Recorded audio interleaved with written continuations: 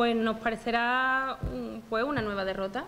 Nosotros entendemos que es necesario dar marcha atrás, pero es que mm, tendríamos que, para empezar, a lo mejor ponerle eh, mm, progesterona a nuestros políticos, eh, rebajar el nivel de testosterona del, del debate y del enfrentamiento, pedirles que se sienten a negociar y a debatir.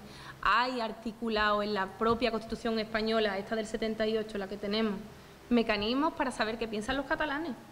Tendremos que saber qué piensan los catalanes porque cuando hay un 80% de la población en Cataluña, según la encuesta, que quiere opinar, al menos opinar, no digo un referéndum vinculante, que para eso, y, de independencia, para eso habría que reformar la Constitución, claro que sí, pero es que en la Constitución también está reforma la Constitución, o sea, existe eh, es constitucional cambiar la Constitución, no sé si me explico. Entonces, nosotros entendemos que lo del 1 de octubre merece dimisiones lo que pasó ese día, eh, lo que hemos visto, lo que se está investigando ya, por cierto, por parte de organismos internacionales, lo que ha sido denunciado por organizaciones en defensa de los derechos humanos, mm, eso merece dimisiones.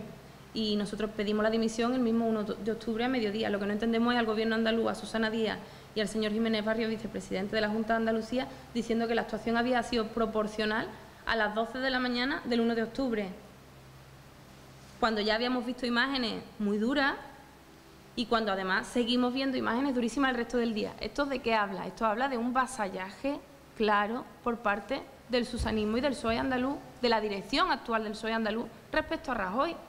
Hay que recordar que son los mismos que lo pusieron de presidente.